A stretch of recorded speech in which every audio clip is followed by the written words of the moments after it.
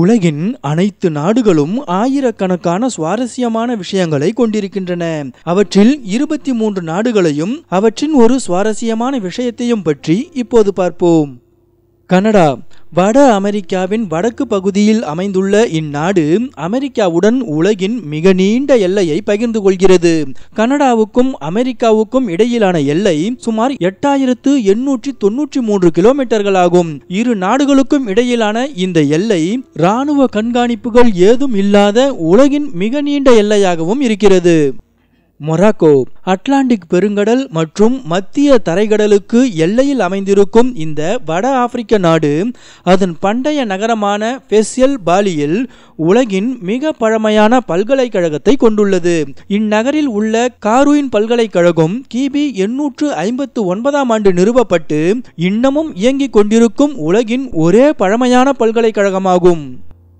Saudi Arabia இந்த மத்திய கிழக்கு நாட்டில் இஸ்லாமிய புனித நகரமான மெக்கா அமைந்துள்ளது. அனைத்து இஸ்லாமியர்களும் தங்கள் வாழ்நாளில் ஒரு முறையாவது இந்நகரை பார்க்க ஊக்குவிக்கப்படுகிறார்கள்.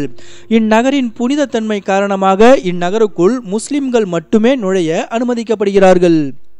மலேசியா இந்த தென்கிழக்கு ஆசிய நாடு உலகின் மிக பெரிய குகையறையை கொண்டுள்ளது. மலேசியாவின் போர்னியோ தீவில் அமைந்துள்ள சராவக் சாம்பர் எனும் குகையறையின் நீளம் சுமார் இரண்டாயிரம் அடியாகவும் அகலம் ஆயிரத்து நானூறு அடியாகவும் மற்றும் உயரம் கிட்டத்தட்ட ஐநூறு அடியாகவும் இருக்கின்றது. இந்த குகை அறையானது ஆயிரத்து தொள்ளாயிரத்து எண்பத்தி ஒன்றாம் ஆண்டு மூன்று பிரிட்டிஷ் குகை ஆய்வாளர்களால் கண்டுபிடிக்கப்பட்டது. ஏமன்.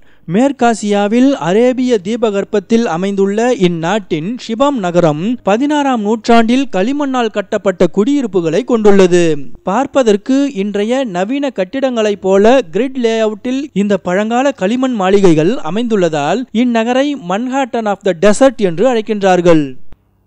நேபாள் இந்த தெற்காசிய நாட்டிற்கு சுதந்திர தினம் என்ற ஒன்று இல்லை. ஏனெனில் இது உலகின் பெரும்பாலான நாடுகளைப் போல் அல்லாமல் எந்த ஒரு ஐரோப்பிய நாட்டாலும் முழுமையாக ஆக்கிரமிக்கப்படவில்லை. ஆயிரத்து எண்ணூற்று பதினான்கு மற்றும் பதினாறுக்கு இடையில் நடைபெற்ற ஆங்கிலோ நேபாளிஸ் போரை தொடர்ந்து இந்நாடு தனது நிலப்பகுதியில் சுமார் முப்பது சதவீதத்தை பிரிட்டிஷுக்கு தாரை வார்த்து கொடுத்தது. ஆனால் நேபாளின் கடினமான நில அமைப்பு காரணமாக பிரிட்டிஷ்காரர்களால் நேபாள் நாட்டை முழுமையாக ஆக்கிரமிக்க முடியவில்லை. மடகாஸ்கர் இந்திய பெருங்கடலில் அமைந்துள்ள இந்த ஆப்பிரிக்க தீவு நாட்டில் மோராங்கி எனப்படும் தற்காப்பு கலை மிகவும் பிரபலம். பதினேழாம் நூற்றாண்டில் உருவாக்கப்பட்ட இந்த தற்காப்பு கலையானது விரல் மூட்டுக்கள் மற்றும் கால்களை பயன்படுத்தி செய்யப்படும் தாக்குதல்களை உள்ளடக்கியது. கேமரோன் இந்த மத்திய ஆப்பிரிக்க நாடு ஆப்பிரிக்க கண்டத்தின் மினியேச்சர் வடிவமாக கருதப்படுகிறது. ஏனெனில் இந்நாட்டில் ஆயிரத்து எழுநூற்று முப்பத்தி எட்டு வெவ்வேறு மொழிகளை பேசும் மக்கள் வாழ்கிறார்கள். மற்றும் இந்நாடு இருநூறுக்கும் மேற்பட்ட தேசிய மொழிகளை கொண்டுள்ளது.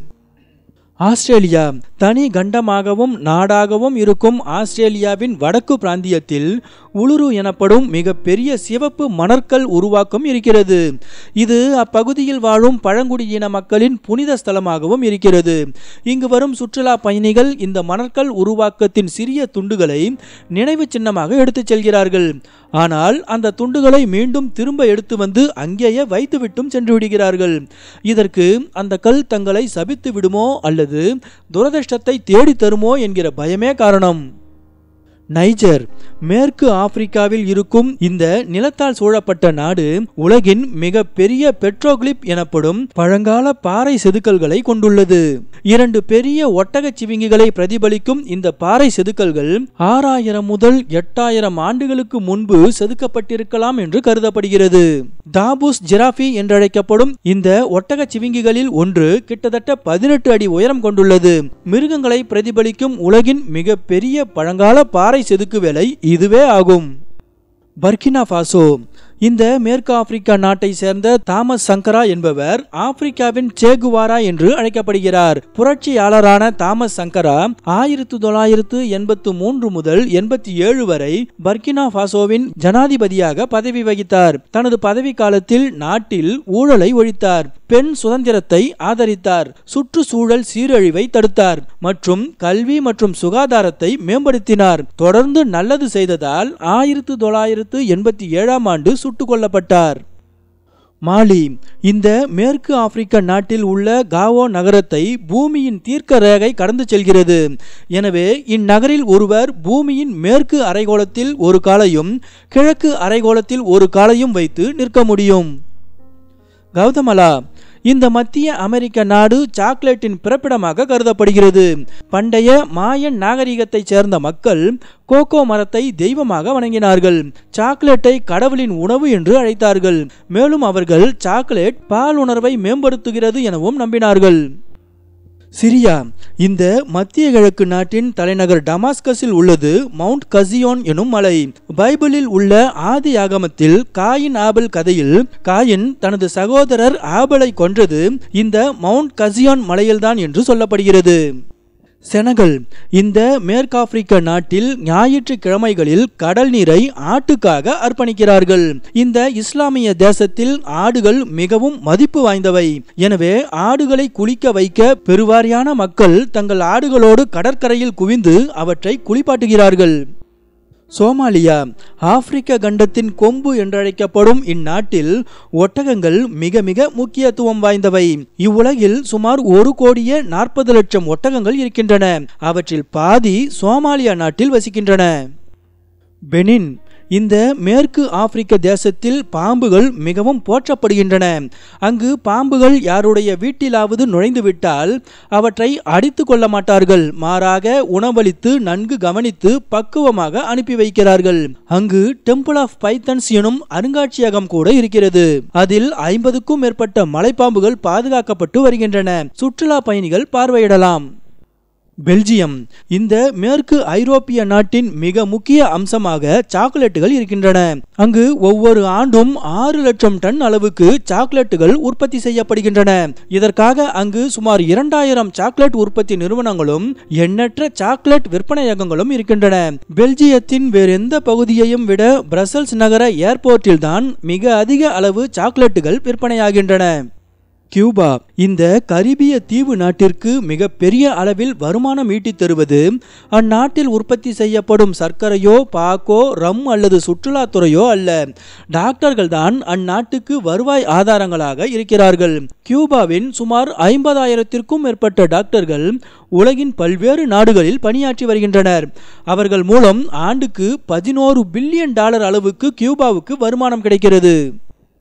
ஹெய்டி இந்த கரிபிய தீவு நாடு ஒரு காலத்தில் பிரெஞ்சு அரசாங்கத்தின் காலனியாக இருந்தது. ஆயிரத்து எழுநூற்று தொன்னூற்றி ஒன்று முதல் ஆயிரத்து எண்ணூற்று நான்கு வரை நடைபெற்ற ஹெய்டியன் புரட்சிக்கு பிறகு சுதந்திரம் பெற்றது. அடிமைகளால் உருவாக்கப்பட்ட முதல் கரீபிய தீவு நாடு இதுவே ஆகும். ஸ்ரீலங்கா இந்திய பெருங்கடலில் அமைந்துள்ள இந்த தெற்காசிய தீவு நாட்டின் மத்திய மாகாணத்தில் அமைந்துள்ளது நுவரேலியா எனும் மாநகரம். குளிர்ந்த காலநிலைக்கு பெயர் போன இந்த நகரம் பிரிட்டிஷ் ஆட்சி காலத்தில் பிரிட்டிஷ் உயர்குடியினர் வந்து தங்கும் ஒரு நகரமாக விளங்கியது. இந்நகரின் இயற்கை காட்சிகள் மற்றும் குளிர்ந்த காலநிலையின் காரணமாக இங்கு வந்து தங்கிய பிரிட்டிஷ்காரர்கள் தாங்கள் இங்கிலாந்தில் இருப்பதாகவே உணர்ந்தார்கள். நுவரேலியாவில் காணப்படும் பிரிட்டிஷ் காலனித்துவ கட்டிடங்கள் வீடுகள் மற்றும் ஹோட்டல்கள் ஆகியவை உங்களை பத்தொன்பதாம் நூற்றாண்டு இங்கிலாந்தில் இருப்பதாகவே உணர வைக்கும் பாகிஸ்தான் இந்த தெற்காசிய நாட்டில் உலகின் எட்டாவது அதிசயம் என்று வர்ணிக்கப்படும் காராகோரம் நெடுஞ்சாலை அமைந்துள்ளது. சீனா பாகிஸ்தான் நட்பு நெடுஞ்சாலை எனவும் அழைக்கப்படும் இது உலகின் மிக உயரமான சாலையாகும். பாகிஸ்தானின் அபோட்டாபாத்தில் இருந்து மேற்கு சீனாவின் ஜிங்ஜியான் மாகாணத்தில் உள்ள காஷ்கர் வரை சுமார் ஆயிரத்து முன்னூறு கிலோமீட்டர் நீளம் கொண்ட இந்த சாலை அதிகபட்சமாக கடல் மட்டத்திலிருந்து பதினைந்தாயிரத்து எழுநூற்று நாற்பத்தி எட்டு அடி உயரம் வரை செல்கிறது. சைனா. இந்த தெற்காசிய நாட்டில் ஒவ்வொரு ஆண்டும் சுமார் பனிரெண்டு கோடியே அறுபது லட்சம் சாப்ஸ்டிக்குகள் தயாரிக்கப்படுகின்றன. இதில் ஒரே ஒரு முறை மட்டும் பயன்படுத்தும் டிஸ்போசபிள் சாப்ஸ்டிக்குகள் முதல் ஒரு மாதம் வரை பயன்படுத்தும் தரமான சாப்ஸ்டிக்குகள் வரை அடங்கும். கினியா.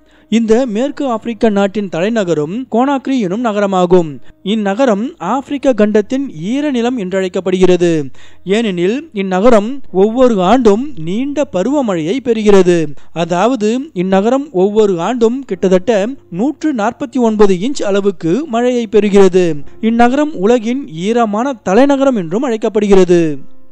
பெலாரஸ் இந்த ஐரோப்பிய நாடு சோவியத் சகாப்தத்தை இன்னும் தக்க வைத்துக் கொண்டிருக்கிறது. ஐரோப்பாவின் கடைசி சர்வாதிகாரம் எனவும் அழைக்கப்படும் இந்நாட்டில் உள்ள ரகசிய போலீஸ் கேஜிபி என்று குறிப்பிடப்படுகிறது. சோவியத் ஒன்றியத்தின் ரகசிய போலீஸும் கேஜிபி என்றே குறிப்பிடப்பட்டது. மேலும் இந்நாட்டில் வகுப்புவாத வேளாண்மை இன்னமும் நடைமுறையில் இருந்து வருகிறது. இந்நாட்டின் ஜனாதிபதி அலெக்சாண்டர் லூகாஷென்கோ ஆயிரத்து தொள்ளாயிரத்து தொன்னூற்று நான்காம் ஆண்டில் பதவி உருவாக்கப்பட்டதிலிருந்து பதவியில் இருந்து வருகிறார். மேலும் அவர் சோவியத் ஒன்றியத்தின் உணர்வை பெலாரஸில் தக்க வைத்துக் கொள்வதில் உறுதியுடன் இருந்து வருகிறார். மேலும் இது போன்ற தகவல்களை தெரிந்து கொள்ள எஸ் எஸ் டிவி தமிழ் சேனலுக்கு சப்ஸ்கிரைப் பண்ணுங்க.